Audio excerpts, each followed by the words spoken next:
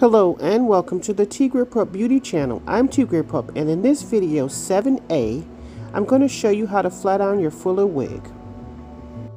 Okay we're starting off with our blow dried hair. I've covered this in my previous video 6a how to blow dry your fuller wig straight and right here we're going in with our wax stick and we're going to take care of those flyaways that's along the hairline and along the lace at the top of the head.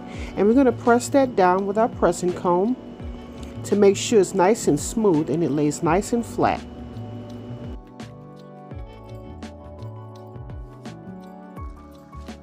Okay, so now that we pressed out our frontal and made it nice and flat, we're going to go throughout the entire head and flat iron it.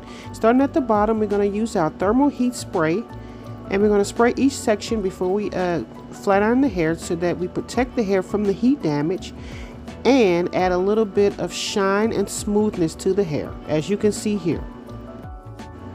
Okay, so now that we've finished flat ironing all of the hair, we're going in with our pressing comb.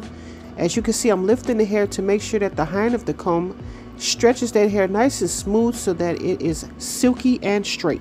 Here is the before look. And here's the after.